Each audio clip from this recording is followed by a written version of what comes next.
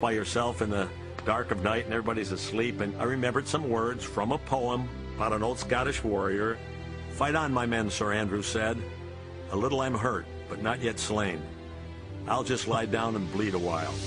Then I'll rise and fight again.